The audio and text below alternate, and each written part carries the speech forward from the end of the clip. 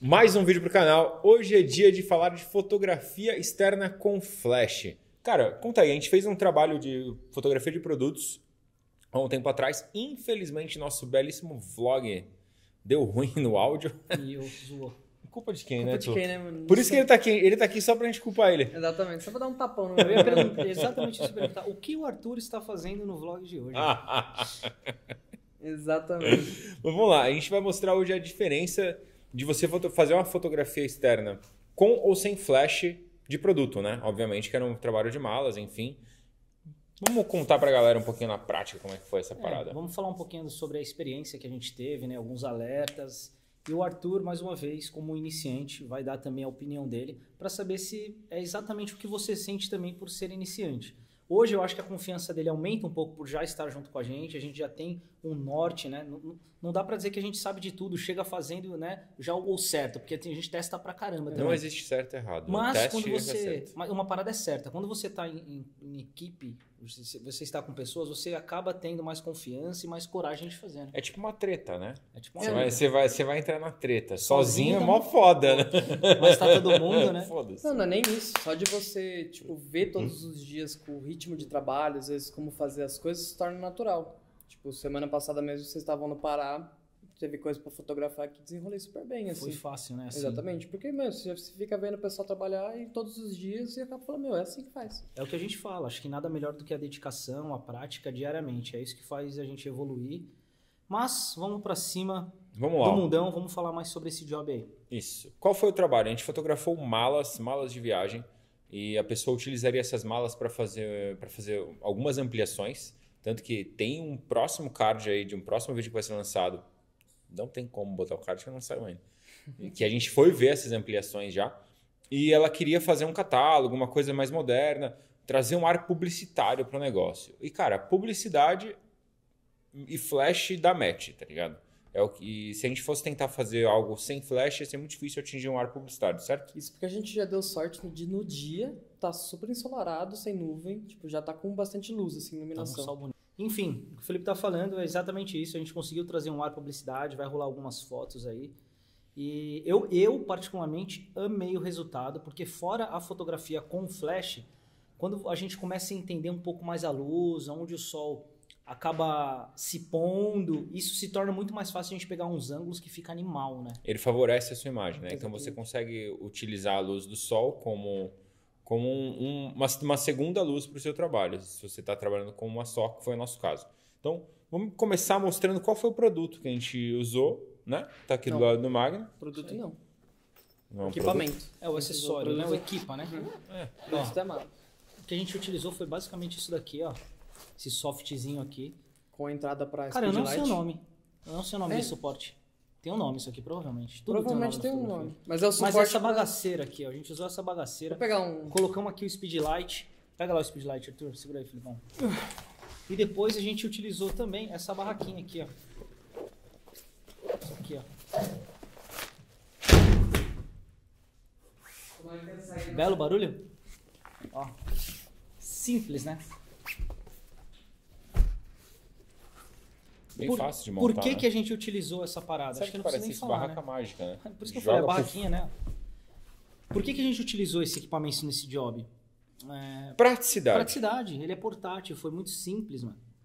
E a gente precisava... E assim, isso não é nenhum equipamento assim surreal, né, Felipe? Equipamento bem simples. Cara, é o equipamento mais básico e mais barato que a gente tem para para fazer uma externa. Pra levar pras ruas, né? E assim, mais prático. Tem algumas coisas mais baratas? Tem, só que não são tão práticos assim. Voltando. Então vamos lá. Basicamente, como é que você utiliza esse equipamento? Cara, suportezinho, encaixa, trava, Já era. E o softzinho aqui, a mesma coisa. Mano. Só encaixar. encaixa. Se liga a velocidade que você monta uma parada pra você trabalhar na externa, tá ligado? Pronto, se não quiser pôr no tripé, pode levar na mão. É isso. Dá pra segurar na mão Então, também. se você tem um assistente, mano, o maluco tá ali ainda vem com a capinha difusora, tá? É, a capinha vai na frente, né? O Tem difusor. essa primeira. Essa vem aqui na parte de dentro e a outra ali na parte de fora que vai no velcro. sabe? São dois difusores. Ou seja, cara, tem coisa melhor e mais prática do que isso pra poder fazer um trabalho? Não tem, Não velho. tem. E assim, o legal disso, cara, é que Principalmente aqui nas ruas de São Paulo, é um pouco perigoso, né, velho? Não tem esquema. A gente prefere levar sempre um equipamento um pouco mais em conta, um pouco mais enxuto, porque no caso de um assalto, infelizmente, eles acabam levando mesmo e não tem muito o que fazer. A gente acaba entregando e um equipamento mais em conta, às vezes, é uma melhor opção, né? De deixar. É, e na Exato. real era a única opção que a gente tinha, né? Por conta que tinha que ser speedlight. Não tinha como ser. É Não tipo, tinha como flash. arrastar uma, uma tocha. tem e extensão. né? Então, é que tem aqueles. Qual que é Tem aquela? os flashes da Godox, né? Que são a bateria. A gente não tem esses flashes, né? Se tivesse, a gente também. Eu Não acho que a usaria. gente não usaria, não levaria. A não E ser em LED casos também, específicos. né? LED também às vezes não compensa, não tem tanta intensidade, né? Tipo, Não, o flash não, o flash não pega. Cara, mas assim, ó, esse foi o equipamento que a gente levou. Agora, Arthur, qual foi a dificuldade, assim, ó, que pra. Que, qual foi a maior dificuldade que você acha que a gente teve nesse trabalho? Pra você? nossa maior dificuldade foi achar um lugar que deixasse a gente fotografar, porque como a gente tava lá na Faria Lima, tava uma pegada muito boa, assim, pro intuito de malas, viagens, tava passando avião e tudo mais. Porém, todos os prédios tinham segurança e não deixavam a gente fazer foto lá na frente. E Porque, tipo, direito de imagem de prédio, tá ligado? Coisa que não tinha nem o logo. Era um todos os prédios da Faria Lima são praticamente iguais, é tudo vidro. E o cara não tava deixando a gente fotografar. Pode crer, a gente meio que teve que se virar com o que tinha. Exatamente. E também o cansaço de tanta gente andar e tudo mais, a gente já tava. Chegou uma, uma hora que a gente tava lesado, sabe? Tipo, a gente fazia- fotografou 20, 30 malas, cara, na rua. Parece que é 30 pouco. conjuntos. É muito, muita mala. E teve que transportar malas. essas malas Exato. com a gente em todo, em todo lugar que a gente ia. É. Isso Então- porque- é, tudo bem, a gente tava com uma equipe até que grande, a gente tava nós três mais o pessoal das malas, eles também estavam com ajudante e tudo mais. Isso ajudou tinha, bastante. tinha ajuda dos dois, do- dos dois modelos, que a gente estava fotografando também, eles estavam ajudando a locomover as malas. Mas é muita coisa, gente. É mala de viagem, entende?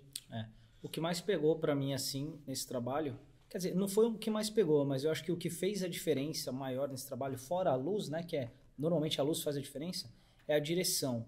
Direção de modelos. Isso é o que mais pega. Se você não for um cara desinibido, se você não for um cara cara de pau, se você tiver muita vergonha de meio que falar e tal no meio das pessoas por achar que alguém tá te olhando, cara, isso vai comprometer bastante o seu trabalho.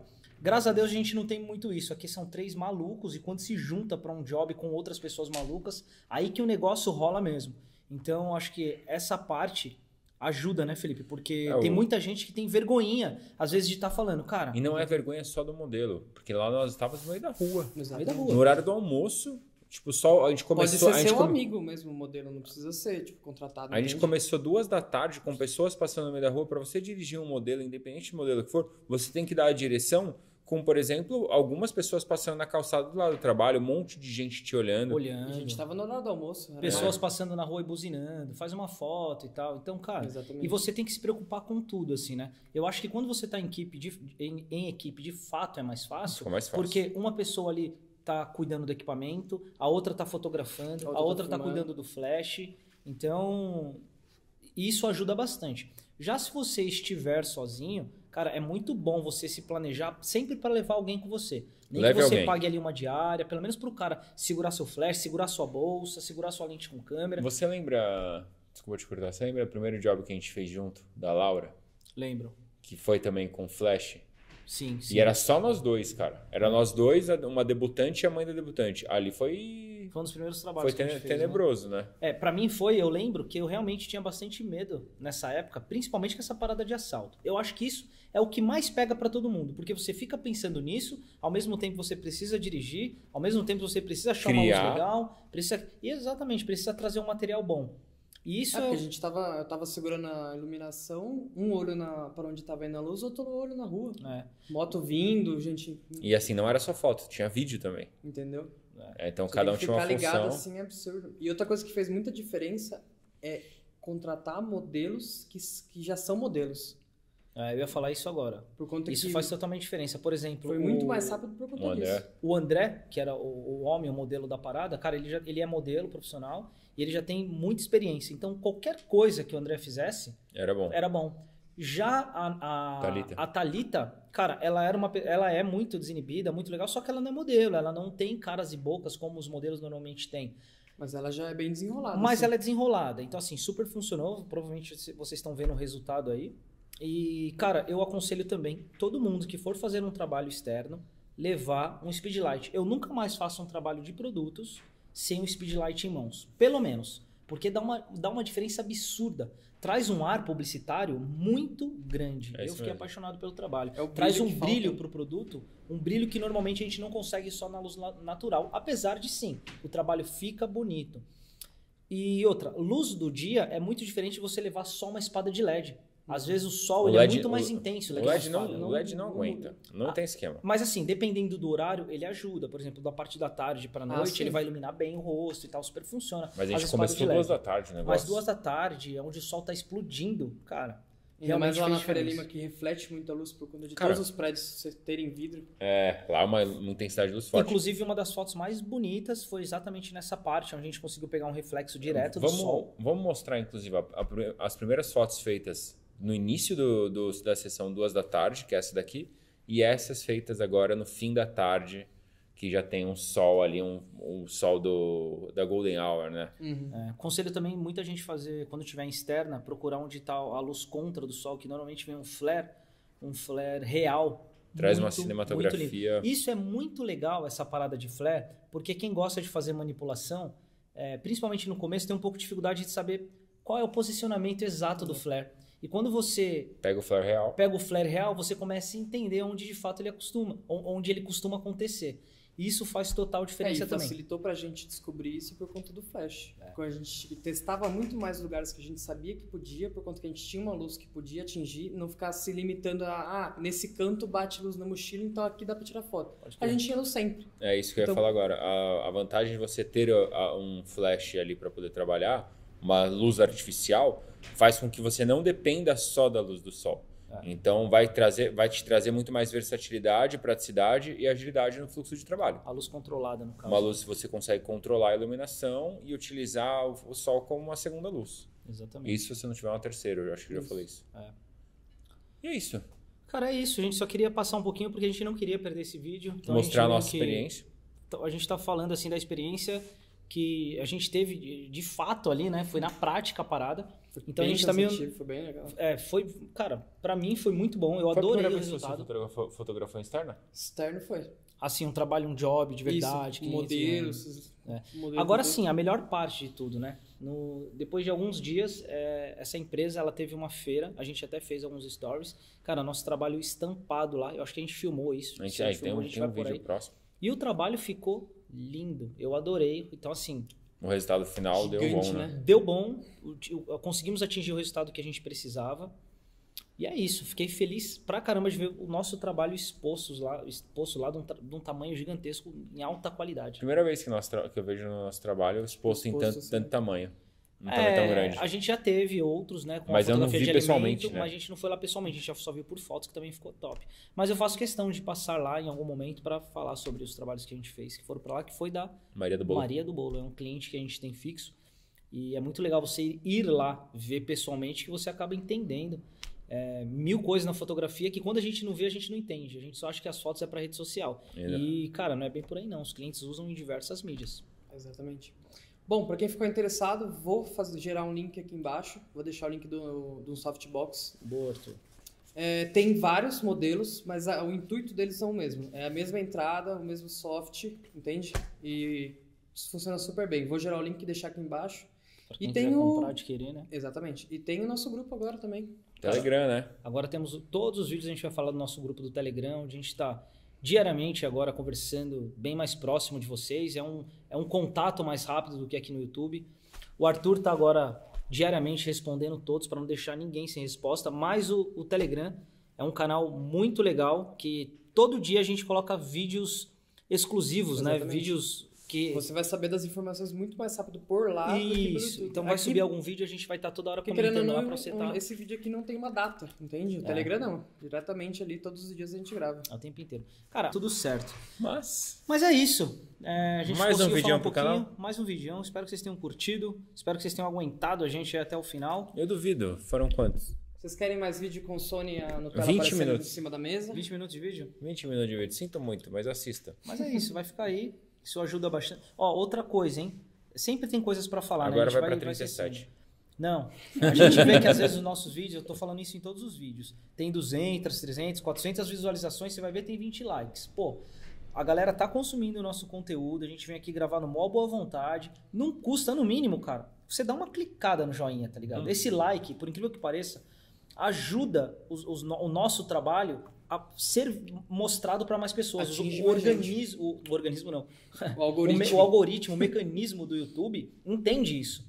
Então, assim, se você gosta da gente, se você gosta do no- nosso conteúdo, se de alguma forma a gente consegue te ajudar, nem que seja um pouquinho, cara, Um like deixa o like. O comentário também ajuda pra caramba. Então escreve, escreve assim, ó, valeu. Pô, legal, já escreveu. tá valeu. pra caralho. Já vou Valeu, adorar legal.